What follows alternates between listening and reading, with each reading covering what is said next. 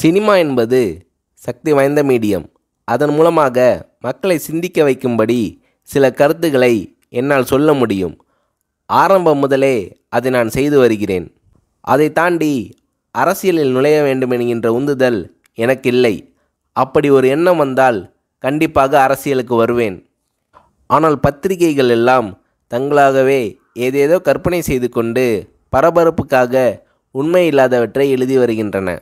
எனக்கு அரசியலில் சேர வேண்டுமென்றோ அரசியல் கட்சி ஆரம்பிக்க வேண்டுமென்றோ துளியும் ஆர்வம் கிடையாது. என்று இருபத்தொம்போது ஏழு இரண்டாயிரத்தி ஒன்றாம் ஆண்டு கல்கி பேட்டியில் விஜயகாந்த் அவர்கள் கூறியிருந்தார்.